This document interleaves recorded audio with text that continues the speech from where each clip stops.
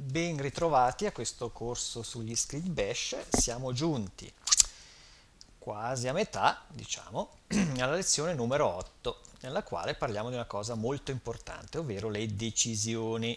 Qui entriamo nella logica di programmazione, le cose cominciano a farsi corpose, il quadro comincia a comporsi e avere un suo senso perché appunto il nostro scopo è riuscire ad avere tutti i mattoncini necessari per comporre il nostro script che abbia una certa intelligenza, una certa efficacia per quello che abbiamo bisogno di fargli fare.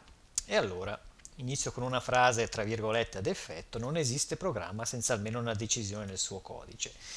Ovvero, questo in sostanza è vero se eh, il nostro script bash ha una certa complessità, diciamo, chiaro che se usiamo uno script solo come, tra virgolette, una macro per ripetere una certa operazione, molto probabilmente avremo dei comandi inseriti in fila uno dietro l'altro senza decisioni logiche, senza ehm, niente di particolare. Però se il nostro skill bash è un po' più eh, ragionato, un po' più complesso, vogliamo fare qualcosa di, di, un po' più corposo, ecco che le decisioni diventano inevitabili. Questo perché? Perché le decisioni sono un costrutto che permettono di dare intelligenza al nostro codice. Perché?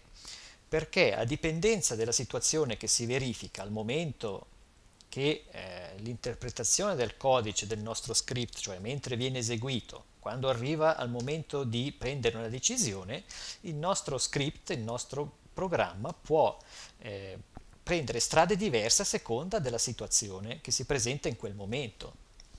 E se la situazione può cambiare in quel momento, appunto il nostro programma tra virgolette, sembra intelligente perché riesce a prendere strade diverse e eseguire compiti diversi a seconda della situazione che si presenta. Vediamo cosa intendo. Allora, prima di tutto cosa intendo con decisioni nel programma? Decisione vuol dire in pratica se una certa condizione si verifica, cosa devo fare altrimenti cosa devo fare se questa condizione non si verifica? In, in poche parole è questo, proprio ridotto in nuce una decisione logica in un programma è questo, quindi se succede una cosa faccio questo, altrimenti cosa faccio se non succede quella cosa? Ecco, e come si traduce nella sintassi della nostra bash, del nostro script bash, si traduce con ovviamente delle parole inglesi, ovvio, manco a dirlo, la sintassi quindi è questa, if che vuol dire se, la condizione che è fra parentesi quadro, l'ho messa qui fra puntini, puntini, puntini, eh, non, non, fa parte della sintassi, questo, questi tre puntini sono, stanno a come ellissi per la condizione che poi dovremmo effettivamente inserire. Quindi if, se, then, allora allora cosa? Altri puntini perché qui ci sta la parte di codice che deve fare il nostro script se si verifica la condizione, quindi if tal condizione, questi tre puntini sono veri, quindi si verificano, allora fai qualcosa. Else, che vuol dire altrimenti, else, fai qualcos'altro, e poi fi, fi, che poi il contrario di if, chiude il blocco di gestione, il blocco logico di gestione della condizione. Cosa possiamo fare per verificare la condizione? Cosa possiamo usare? Cioè cosa mettiamo al posto di questi tre puntini? Se abbiamo a che fare con due valori numerici, per esempio due variabili, noi vogliamo confrontare due variabili A uguale a B, A minore di B, A maggiore di B, eccetera, eccetera, abbiamo, la sintassi prevede queste, diciamo, questi termini, queste parole, quindi sempre dall'inglese, eh, naturalmente, quindi meno EQ che vuol dire uguale a, EQ è equal in inglese, NE not equal, NE, GT greater than, maggiore di, GE maggiore o uguale, LT less than, minore di, LE minore o uguale. In poche parole, quando dobbiamo, sappiamo che stiamo confrontando due valori numerici, dobbiamo usare questa parolina in mezzo per dirgli voglio verificare se un valore è uguale all'altro, oppure se non è uguale all'altro, oppure se uno è maggiore dell'altro, oppure se uno è maggiore o uguale all'altro, oppure se uno è minore dell'altro, oppure minore o uguale all'altro.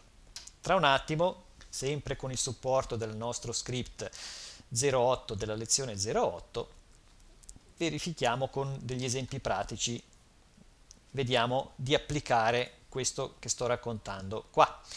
Se invece abbiamo a che fare con delle stringhe, ormai sappiamo cosa sono delle stringhe, sono delle sequenze di caratteri, allora è diverso, diventa magari tra virgolette più facile da leggere, da capire. Se due stringhe sono uguali usiamo l'uguale, se due stringhe non sono uguali usiamo il punto esclamativo e l'uguale. Ecco, punto esclamativo, magari ingrandisco, è il punto esclamativo, che vuol dire il not in inglese, quindi non uguale, punto esclamativo non uguale. Poi, se una stringa è minore di un'altra. Ecco, quindi se è più corta o se per caratteri dell'alfabeto risulta minore, insomma se è più corta diciamo che è più facile da capire. Minore, minore, maggiore, maggiore. Se una stringa è vuota, questo è molto comodo da verificare senza usare comandi particolari, si dice meno z che vuol dire vuota. Ecco qua. Se meno z, una variabile contenente una stringa, risulta vera come condizione, quindi se, se questo test di questa condizione risulta vero, vuol dire che questa stringa effettivamente è vuota e noi può servire magari se il nostro script richiede un parametro e noi non lo introduciamo, quindi lasciamo vuoto quel parametro, ci serve magari testare, verificare durante il codice, nel codice dello script, se effettivamente abbiamo dato un parametro o meno. Meno n se la stringa non è vuota o ha una lunghezza diversa, quindi il contrario dello z, meno n vuol dire no, c'è dentro qualcosa in questa stringa, in questa variabile o questa stringa. Ecco, operatori logici, questi sono confronti, eh, come dire, singoli fra due valori, o due valori numerici o due valori alfanumerici, stringhe. Quindi due variabili, una uguale all'altra, eccetera, eccetera. Però ehm, il confronto, il, la verifica di una condizione può anche essere più complessa, cioè il confronto di più valori. E quindi ci sono anche gli operatori logici. Cosa sono gli operatori logici? Ce ne sono essenzialmente due. Uno è il doppio AND commerciale, qui doppio E commer commerciale, Ups. doppio E commerciale che vuol dire appunto E Ecco, entrambe le, entrambe le condizioni devono essere valide. Ecco, qui mi rendo conto che se qualcuno di voi non ha mai avuto a che fare con la programmazione, se sta seguendo questo corso come una cosa totalmente nuova, questo può essere un punto non così banale da capire immediatamente. Gli operatori logici. Gli operatori logici vuol dire appunto che aggiungiamo alla nostra condizione da verificare ulteriori condizioni, ulteriori variabili e l'operatore E implica che nelle varie coppie di confronti di valori devono essere tutte validi questi, eh, questi confronti. Mi spiego meglio. Se ehm, verifico che la variabile A sia uguale a B, alla variabile B, e diamo per assunto che è vero, io ho bisogno anche di confrontare la variabile c con la variabile d, per dire, mettiamo che abbiamo quattro variabili da confrontare, allora io devo dire e voglio che tutte e, due le condizioni siano vere, quindi sia che A è uguale a B, ma anche che C sia uguale a D, devo unirle con qualcosa, non posso mettere A meno EQB e poi cosa ci metto in mezzo? D meno EQ E scusate, C meno EQD e quindi devo metterci in mezzo qualcosa per poter unire le due condizioni da verificare. Ecco, lo vediamo anche nell'esempio comunque, c'è un esempio se non erro dove lo uso, qua in fondo lo vediamo poi qui nello script. Eh, comunque è semplicemente un, un, um, un, una sintassi in più, una parte di sintassi per unire più condizioni da verificare. Quindi A uguale a B e quindi eh, end commerciale, end commerciale e C uguale a D, allora se entrambe quelle condizioni sono verificate, vuol dire che tutta la condizione è valida. Rispettivamente se vogliamo che almeno una delle due sia valida, cioè non abbiamo bisogno che entrambe siano valide, allora usiamo lo, l'oppure, che vuol dire se A è uguale a B oppure C uguale a D, allora per me la condizione è valida, è sufficientemente valida. Per poter fare che cosa? Per poter svolgere il codice nel allora, nel then, altrimenti se non è valida quella condizione andrò nell'else. Voilà. Eh, non, ho il dubbio di non essere stato sufficientemente chiaro, eh? comunque magari se lo scrivo diventa più facile, se vi mostro i comandi di esempio diventa più facile, però magari questo, visto che veramente è un concetto che in sé non è complicato, ma per chi non l'ha mai affrontato può esserlo, magari vale la pena che io lo, lo scriva, lo accompagni le parole con qualcosa di scritto, quello che ho appena detto. Eh? Quindi poniamo che io abbia quattro variabili, A, B, C e D con con in, integrati, con, scusate, con salvati all'interno quattro valori diversi. Per esempio A uguale a 1, B uguale a 1, C uguale a 2 e D uguale a 3. Ecco, cos'è che ho appena spiegato? Se noi dobbiamo verificare che A sia uguale a B e C uguale a D, qua dentro, quindi se quella condizione è valida, allora fai questa parte di codice nell'allora, altrimenti fai l'else. Ecco, quindi seguendo la nostra sintassi, qui non scrivo proprio esattamente la sintassi, ma voglio solo mostrarvi teoricamente cosa intendo col, con la sintassi e oppure o. Quindi sto confrontando dei valori numerici e dico se A è uguale a B e C è uguale a D, allora fai qualcosa, altrimenti fai qualcos'altro. Ecco, con questi valori sopra, questa verifica dove andrà a finire? Vediamo un po'. A uguale a 1, B uguale a 1. Quindi questa è vero, A è uguale a B. E io voglio che entrambe siano vere queste due condizioni. Quindi E verifico che C sia uguale a D. Quindi C è uguale a 2, D è uguale a 3, quindi questa non è vera. Allora, il tutto, quindi A è uguale a B, sì. C uguale a D, no. Quindi una vera e una falsa, tutta la condizione non è vera, ma è falsa ovviamente, perché entrambe non sono soddisfatte le condizioni, quindi non entrerà nell'allora, ma entrerà nell'else, quindi farà le operazioni y, y, y.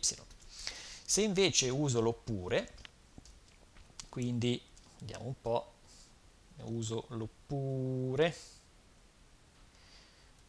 ecco, vediamo po' che uso l'oppure, quindi semplicemente cambiando la E con l'oppure, quindi la sintassi qua, quindi non voglio unire le due condizioni ma dire che almeno una delle due o una o l'altra sia valida, fai qualcosa altrimenti qualcos'altro. Quindi ripetiamo l'esercizio con i, con i valori che abbiamo qua sopra, quindi abbiamo A uguale a B sì, A uguale a 1, B uguale a 1, questa è valida come condizione, oppure C uguale a D, C uguale a 2, D uguale a 3, no, questa non è soddisfatta, ma questa sì.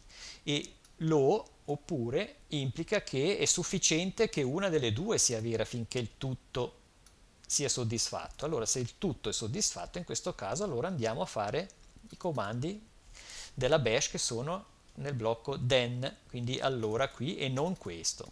Ecco, spero che così magari sia un po' più chiaro, così come spero che magari seguendo e ragionando sopra al mio esempio qui riusciate a capire ancora meglio che cosa intendo con tutto ciò, perché è importante per costruire il nostro script.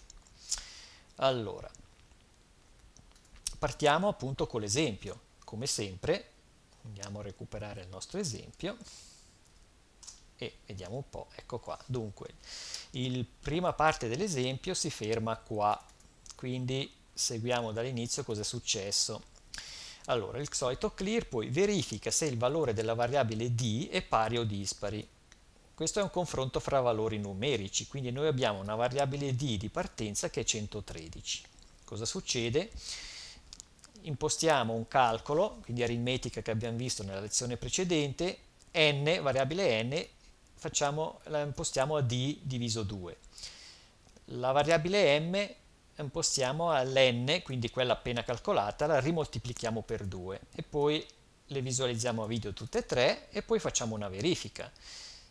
Se la variabile d iniziale, 113, non è uguale alla variabile m, quindi del risultato finale dei nostri calcoli, allora se questa condizione è soddisfatta, è vera, quindi se d è diverso da m, il valore della variabile è dispari.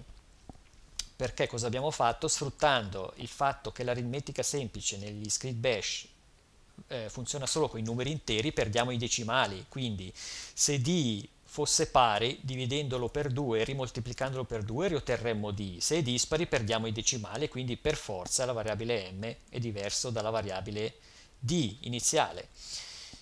E quindi funziona in questo modo. Quindi D113 sappiamo che è dispari, però vediamo che il calcolo diviso 2 e per 2 otteniamo 112 perdendo i decimali, quindi il confronto if della decisione ci dice che è dispari questo valore. Per, ups, perché è dispari? Perché abbiamo confrontato D con l'opzione non uguale, eccola qua, NE non uguale a M, è vero che non è uguale perché 112 è diverso da 113 e quindi è soddisfatta la condizione della nostra decisione, allora entra nel then, nell'allora, perché è vera questa condizione, quindi ci dice che è dispari ed è giusto. Fossero stati uguali e D fosse stato pari, sarebbe entrato nell'else in questa condizione, nell'altrimenti, perché non è vero che non sono uguali, fossero uguali, questa, questa condizione di verifica della decisione non sarebbe soddisfatta, sarebbe falsa e quindi sarebbe entrato nell'else e ci avrebbe detto che è pari. Infatti, vediamo un, un secondo esempio, eh, un un, il contrario, se vogliamo un po' speculare al primo, di questa volta sappiamo che è pari 1124 fa i suoi calcoli, diviso 2 per 2 ci ritorna di nuovo 1124 perché è pari e ci dice che il valore è pari. Abbiamo testato questa volta che D sia uguale all'M, il risultato finale del calcolo, meno EQ vuol dire uguale, ecco qua, meno EQ uguale, e quindi è soddisfatta la condizione perché D 1124 è uguale a M 1124, e quindi se sì, rientra di nuovo nel den 1124 124 è uguale, then il valore della variabile è pari. Se torno un attimo al primo esempio, giusto per riciclare il primo esempio e farlo entrare nell'else non del then, quindi interrompo il, lo script e cambio in 114 il primo valore, solo per mostrarvi che può entrare anche nell'altrimenti, quindi faccio ripartire lo script ed ecco qua che questa volta col 114 diviso 2 per 2 otteniamo che D è uguale a M perché è pari e in effetti ci dice il nostro programma che è pari. Perché? Perché abbiamo rifatto il calcolo cambiando il valore di D e la nostra eh, verifica della decisione ci dice D non è uguale a M non è vero, D è uguale a M, quindi non è soddisfatta, allora non entra più qua, nel, nell'allora per dirci che è dispari, ma rientra nell'else, nell'altrimenti per dirci che è pari. Ecco qua, tutto qua. Ecco, vedete, quando io parlavo di intelligenza del programma, perché con le decisioni si introduce una certa intelligenza nel programma, perché a dipendenza della condizione di partenza, cioè in questo caso del valore di D, il comportamento del nostro script bash cambia perché a dipendenza del valore di D cambia il, la, la, verità o meno di questa condizione. Quindi questa condizione può essere vera, perché i due valori sono diversi, così come può essere falsa perché i due valori sono uguali, quindi cambia il comportamento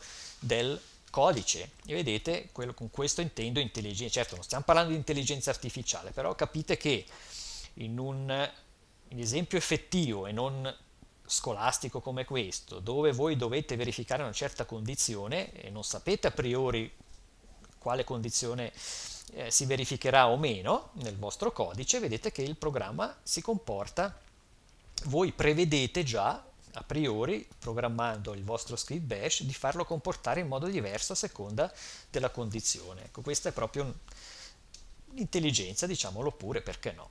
Ecco, poi abbiamo già visto il secondo esempio che ci dà che è pari pure, pure esso, e poi si è fermato qui lo script. Adesso questo era un confronto fra valori numerici, avete visto che ho usato questo tipo di sintassi con i valori numerici, quindi con queste paroline che vogliono dire uguale, minore, maggiore, eccetera, eccetera. Qui vediamo le stringhe. Eh, tra l'altro, prima che me ne dimentichi, vedete che la sintassi è quella che ho indicato qui, if parentesi quadra, fra parentesi quadre la condizione, then codice, else codice e fine del blocco.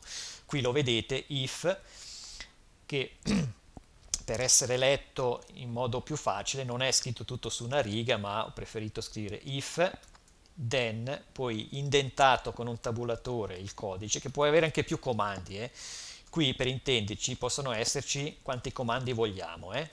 fino all'else vale tutto l'allora quindi dal then in avanti è tutto codice per l'allora qui può essere anche tantissimo codice eh, non solo un comando solo solo per intenderci. Poi l'else la stessa cosa, qui possiamo avere tantissimo codice qua dentro nel, nel blocco else, nel blocco altrimenti, e poi finché non arriviamo a chiudere l'if con il fi, per lui vale o l'allora o l'altrimenti, è tutto codice che fa parte dell'if. E quindi poi lo chiudiamo con la parola contraria fi, if si chiude col fi. Ecco. E altra particolarità, L'ultima è che le variabili, quando vengono ehm, utilizzate nella, nel, nell'interrogazione, nel, nella, nella, decisione, nella condizione, ecco, nella condizione di decisione, vengono messe fra virgolette doppie, vedete?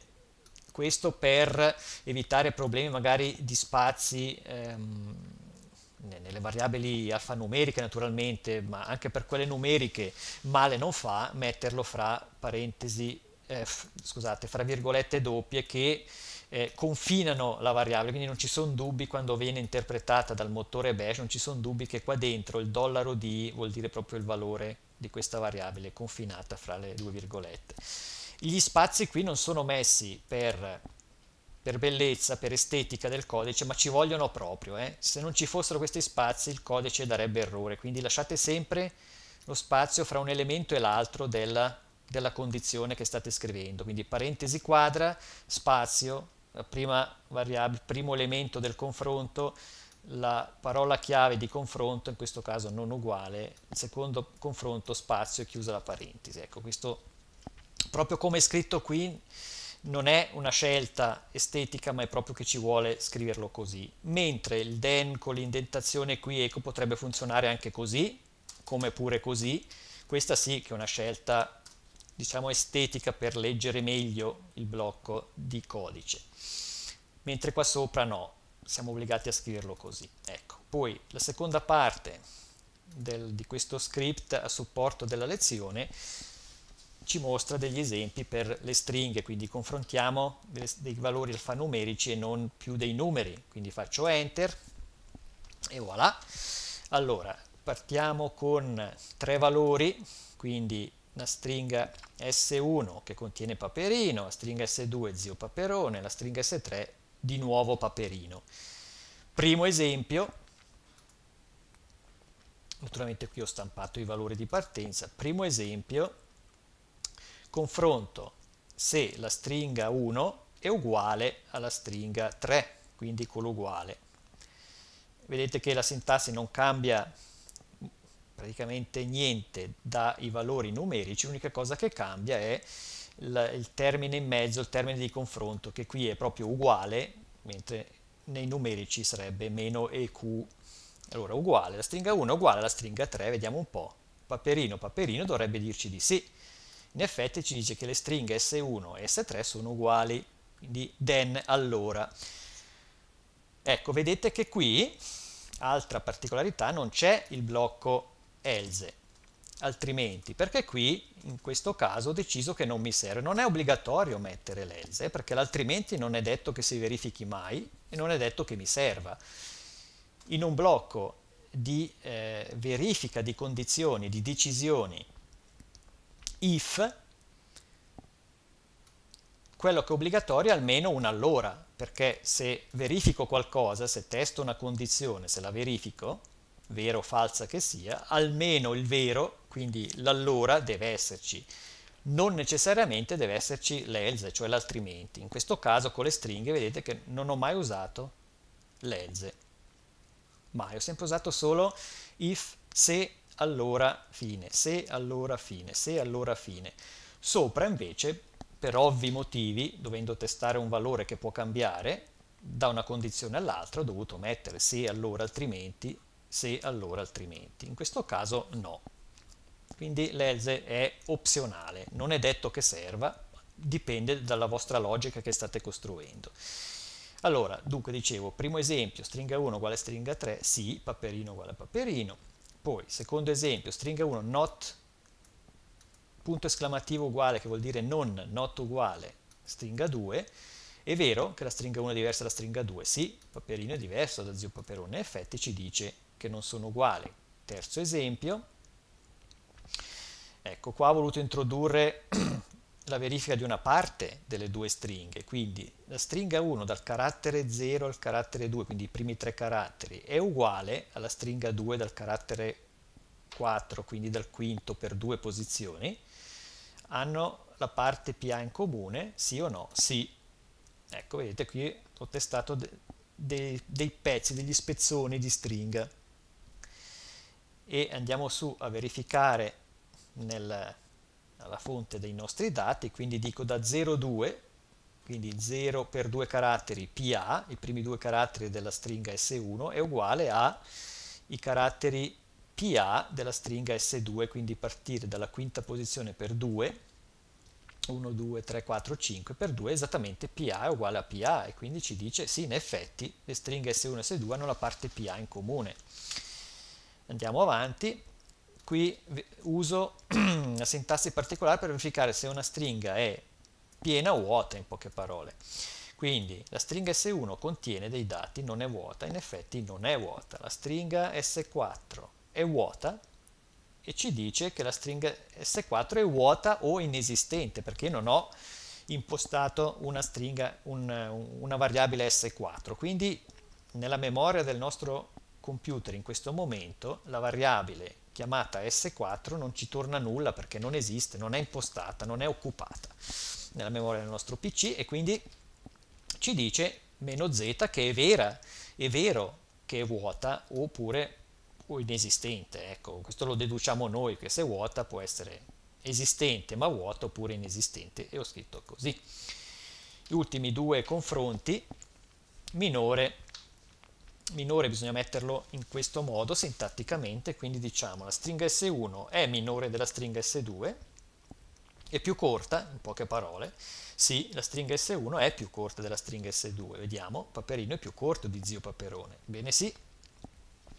La sintassi qui impone una backslash, quindi una barra rovesciata, per non far interpretare in altro modo il, il il carattere minore, ecco, famoso deviazione dell'output. In questo caso dobbiamo usare eh, backslash minore per farlo interpretare come si deve all'if e non altrimenti, rispettivamente il maggiore, quindi la stringa S2 è maggiore o rispettivamente più lunga della stringa S1, certamente zio Paperone è più lungo di S1 e poi qui ho messo anche un end cioè qui è una doppia condizione testata, quindi prima condizione si chiude qui, verifica che S2 sia maggiore di S1 e poi dico voglio che contemporaneamente sia valida un'altra condizione, che la stringa S3 non sia vuota, quindi vedete n verifica che la stringa non sia vuota. La stringa S3 è vero che non è vuota, Certo, perché contiene Paperino. Quindi queste due condizioni sono contemporaneamente valide nello stesso tempo. Allora può entrare nel then, nell'allora, perché sono valide tutte e due.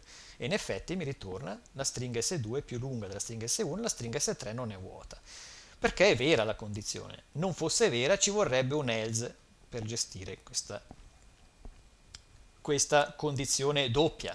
Naturalmente di end o di or ce ne possono essere di più aggiunti, magari con le, con le loro belle parentesi, naturalmente perché and e or possono incrociarsi, bisogna anche mettere le parentesi per farle interpretare nell'ordine giusto, eccetera, eccetera. Può essere anche più complicato di così ovviamente un if. Però, ecco, in questa lezione ho voluto mostrarvi un altro mattoncino importante per costruire il nostro codice bash, che sono le decisioni. Ecco che appunto fanno reagire il nostro script in maniera diversa a seconda delle condizioni che si trova in quel momento, che si trova davanti a dover gestire in quel momento. Quindi dà una certa intelligenza al nostro codice. Ecco, con questo ho terminato anche questa ottava lezione. Vi do appuntamento alla prossima. Un saluto, ciao ciao.